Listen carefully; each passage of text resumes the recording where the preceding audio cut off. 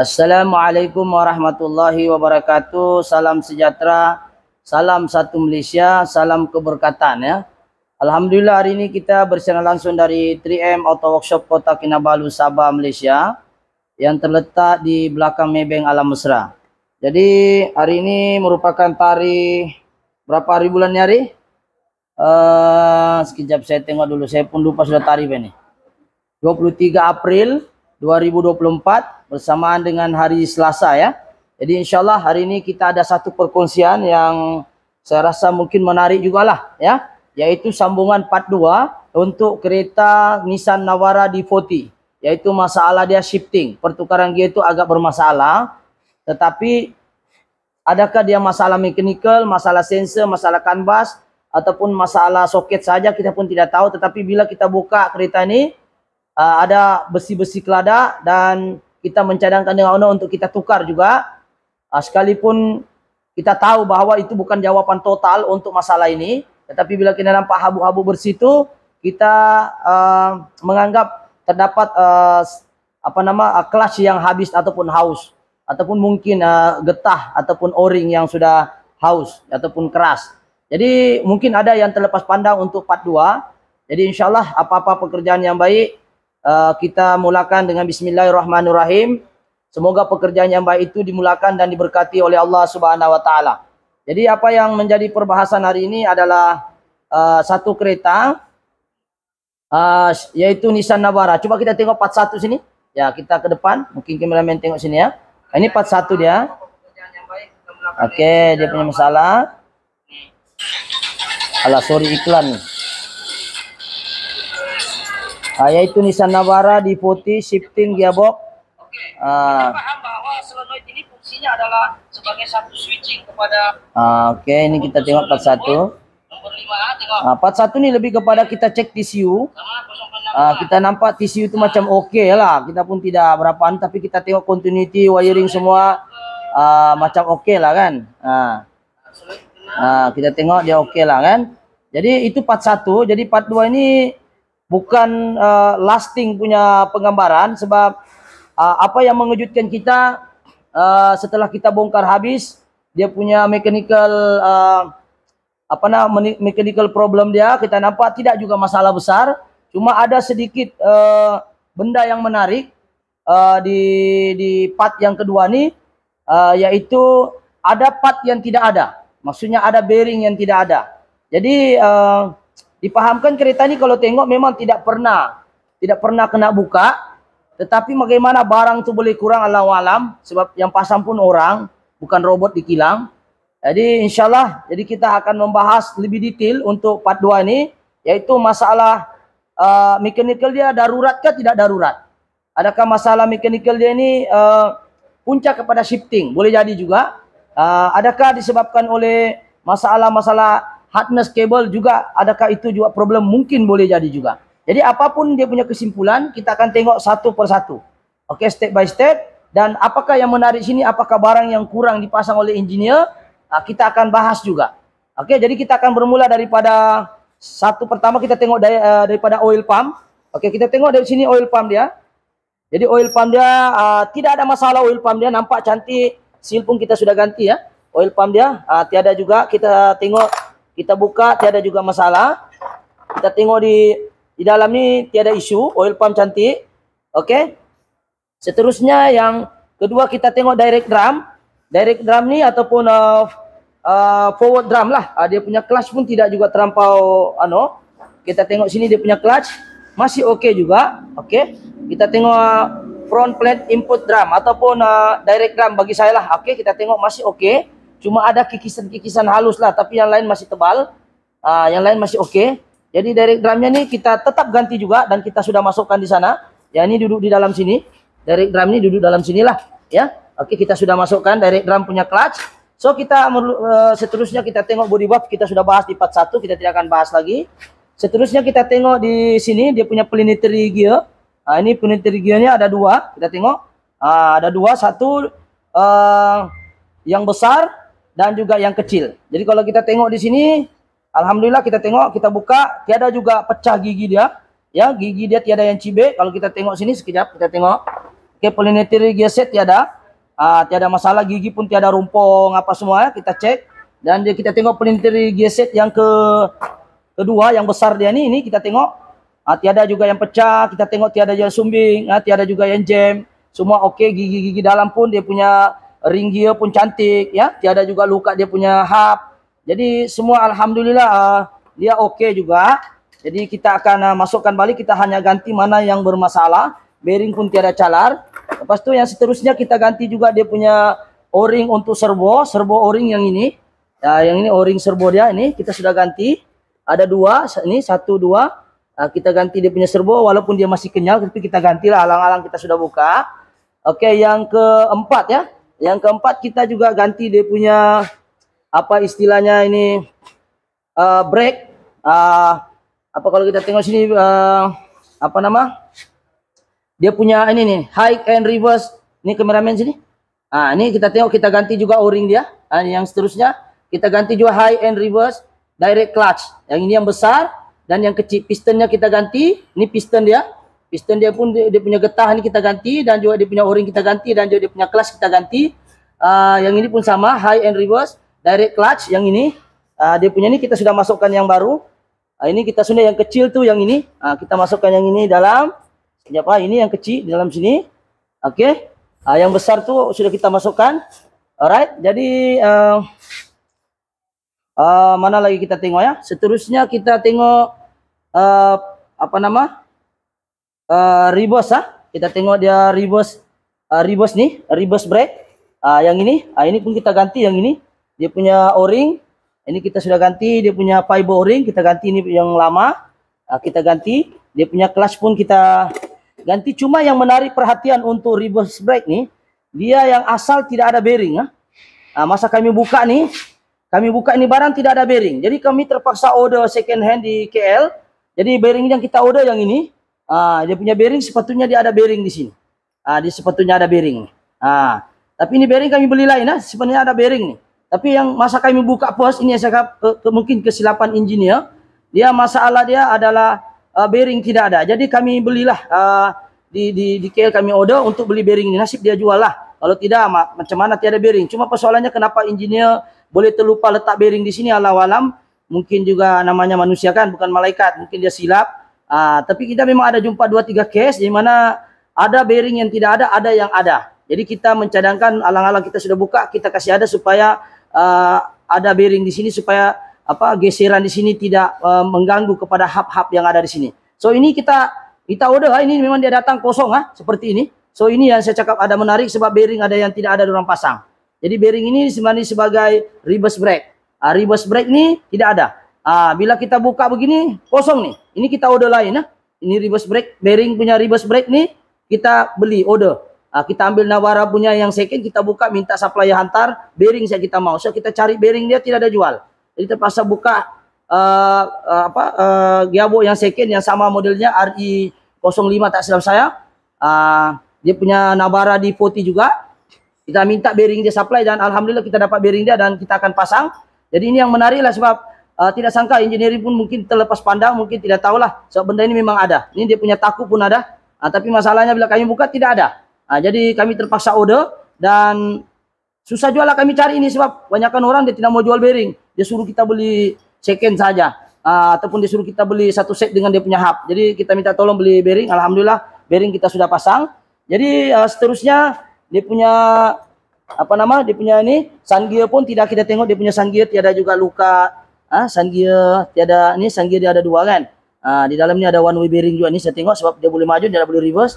So ini gear dia uh, ada dua ini dia duduk di uh, di mana? Di dalam tu lah. Uh, di dalam ni kita ada apa nama? Kita ada sini. Dia duduk di sinilah. Uh, kalau kita tengok dia duduk sini. Uh, ni. Uh, dia duduk sini.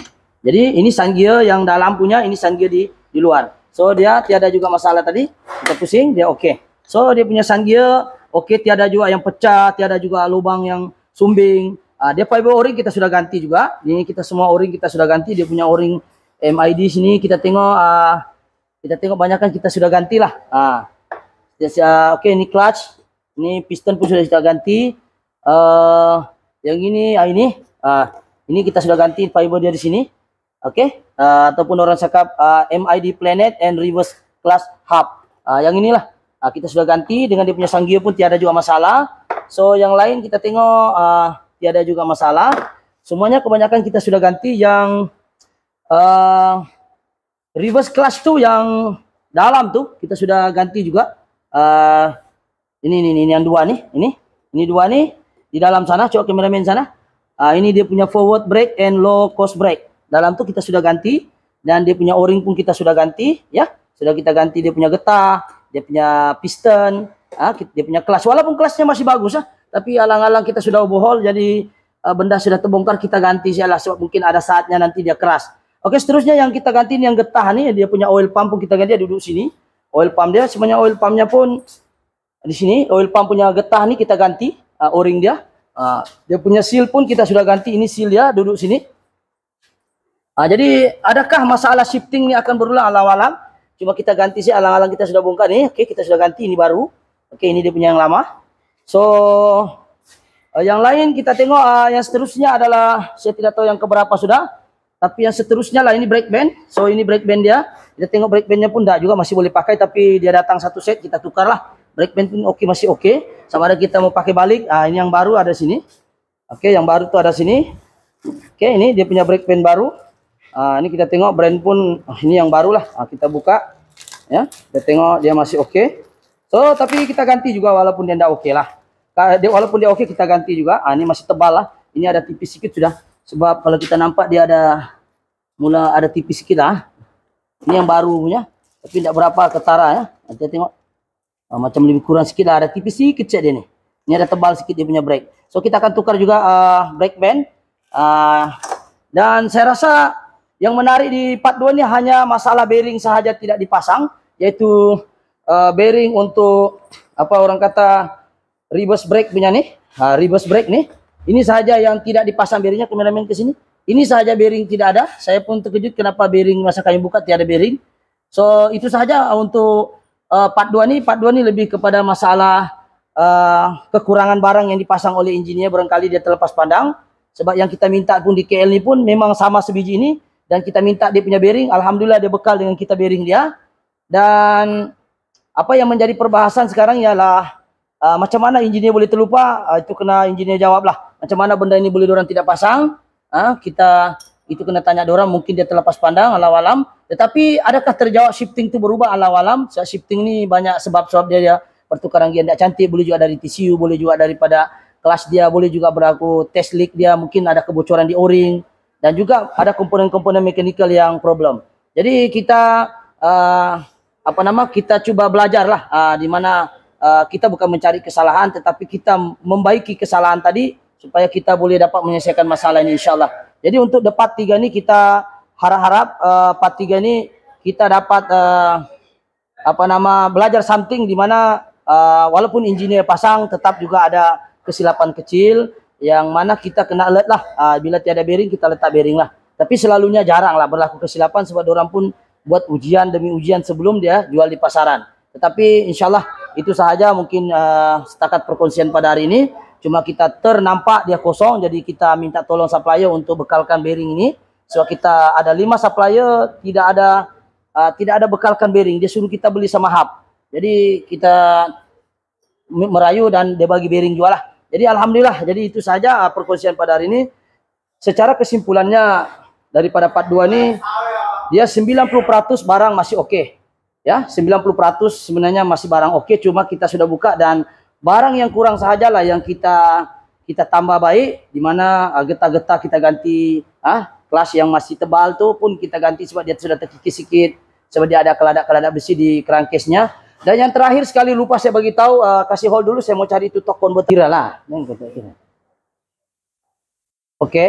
uh, oke. Okay, sedang kita tok konverter kita sudah nih oke okay, yang terakhir lah yang penutup segala uh, apa nama kita punya part 2 nih ialah torque converter kita sudah tukar dan kita tukar juga dia punya clutch. Walaupun dia bukan isu besar uh, cuma kita untuk pahaman ya kadang-kadang ada orang cakap kenapa uh, torque converter itu perlu dibelah ya perlu dibikin sebab torque converter ini adalah fungsinya adalah penyambung ataupun uh, tenaga enjin kepada gearbox disambungkan oleh torque converter jadi kalau torque converter itu masalah uh, dia akan jadi isu kepada pertukaran gear juga Jadi kita tukar juga dia punya clutch dan kalau kita tahu ini kereta lain nah. Ini dalam keadaan top converter ni kita sudah belah. Ah ini dia punya keadaan ini stator, ah dia punya stator ni, ini bearing kan. Ah ini dia punya impeller, turbine semua ada dalam ni lah. Ini dia punya clutch, di belakang ni ada spring. Ah kita tengok sini. Nah ini dia punya dia punya clutch ni, di belakang ni sekejap saya ambil. Okey. Ini dia punya clutch, nampak ni belakang ni ada clutch. Ah kameraman boleh tengok. Ah ini clutch dia. Jadi ini dalam tokon converter ni kita ganti juga dia punya clutch. Cuma dia punya kelas ni tidak sama ada yang kelasnya macam mini single. Cuma kita nak bagi tahu nampaknya macam satu biji tapi sebenarnya di dalam ni ada banyak komponen. Ada clutch, ada one way bearing, ada stator, ini namanya stator, uh, ada dia punya washer besi, ada ini plastik punya lah. Uh, jadi semua benda-benda ini ada di dalam tokon converter semua.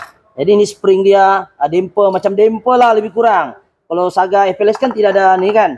Jadi ini antara komponen-komponen dia yang yang yang kita tukar di dalam kereta yang ini. Ini kereta ini yang sudah buka baru kita bawa pergi engineering, bukan baru ah ini kita belah, kita ganti dia punya clutch. Ah, jadi jadi sekurang-kurangnya kita puas hati lah benda ini memang kita sudah ikut SOP di mana bagus ataupun tidak bagus dia mesti mau diganti lah. Ah, begitu. Oke, jadi saya rasa itu saja perkongsian pada hari ini. Untuk keadaan toko converter dalaman ini kita pun sudah bawa pergi engineering. Cuma isunya sekarang adalah adakah kereta ini berjaya untuk kita selesaikan insyaallah harap-haraplah mudah-mudahan uh, sebab kita ini mencuba yang terbaik saja bukan kita kata pandai tapi kita cuba yang terbaik saja mudah-mudahan uh, sedikit informasi berkaitan dengan gearbox ini uh, memberi input yang yang baik dengan kita bahawa dalam gearbox auto ini paling penting adalah minyak kita kena jaga minyak jangan tunggu gearbox masalah baru kita ganti minyak dia ya gantilah minyak mengikut kilometer bukan mengikut hati mengikut kita punya perasaan. Ha, jadi setiap 50 ribu ganti filter dengan minyak. Setiap 25 ribu ganti minyak sahaja. Jadi kita kena alat lah tentang auto ni dia manja. Tapi untuk model kereta ini, uh, untuk kereta ini dia unik. Uh, Navara D40 dia punya gearbox, dia uh, duduk dalam. Uh, dia duduk dalam dia punya tisu. Ini tisunya, kameramen boleh ke sini. Tisunya duduk dalam. Kebanyakan kereta tisu dekat dalam dashboard kan. Ini tisunya duduk dalam dengan minyak-minyak sekali dengan dia punya solenoid sekali di sini. Jadi sekarang ini uh, adakah dia masalah uh, apa nama TCU apa ini kita sudah cek di part 1 alhamdulillah macam oke okay juga tapi iyalah kita tidak tahu mana tahu time panas dia problem kita tidak tahu jadi apa yang penting ialah masalah mechanical tadi kita sudah tukar uh, karena terakhir sekali saya lupa share uh, input sub nih oke okay, kalau kita tengok uh, input sub ini parking ni lah ini parking ni memang ini biasalah uh, parking punya nih tiada juga kita tengok tiada luka-luka eh kita mesti mau cek kalau kita sudah bongkar, kita tengok ada pecah kah tidak, dia punya gigi ada sumbat kah tidak, apa semua ini kita kena cek lah. Uh, ini dia punya main shaft. Uh, dia punya main shaft daripada uh, apa nama? Uh, daripada sambungan daripada tengah tok converter apa semua di sinilah. Jadi uh, saya rasa itu saja yang kita mau bincang ataupun yang kita mau bahas yaitu masalah dia di part 2 ini hanya bearing saja tidak ada yaitu bearing untuk brake yaitu orang bilang reverse brake ah. Ataupun orang cakap dia punya uh, orang kata reverse brake itu tidak ada tidak ada dia punya bearing. Reverse brake itu yang ini kameramen ke sini. Sekali lagi saya ulang sebab ini jarang engineer, terlupa pasang ni ini namanya reverse brake uh, reverse brake ni dia uh, terlupa pasang bearing sajalah. Tapi adakah jawapan pada shifting? Alam alam selagi benda tidak pasang kita tidak uji kita tidak boleh cakap uh, selesai masalah tidak. Kita nantikan untuk part 3 insyaallah. Mudah-mudahan saya dapat uh, dapat uh, apa nama uh, melaksanakan tugas ini dapat menyelesaikan masalah customer insyaallah. Jadi mohon maaf sekiranya video ini agak crowded, mohon maaf kalau video ini terlalu panjang. Ataupun mungkin ada di luar sana yang pakar gearbox, mungkin boleh komen-komen kalau ada kesilapan di sini untuk kita lebih memperkemaskan lagi ilmu tentang gearbox tadi yaitu gearbox D40. Kalau kita kalau tidak silap saya RI05 RI RO5 kan dia punya code dia punya gearbox ni. Allah alam yang aku tahu sekarang ini gearbox D40 auto. Uh, Navara di putih. Jadi itu saja sekadar perkongsian. Sekali lagi uh, mohon maaf kepada subscriber lama ataupun baru ataupun baru uh, mengenali channel saya sekiranya uh, video ini bagus, memberi input-input positif, uh, jangan lupa subscribe, like ataupun share lah. Semoga ilmu ini dapat dimanfaatkan oleh orang lain. Jadi itu saja. Sekian. Assalamualaikum. Thank you.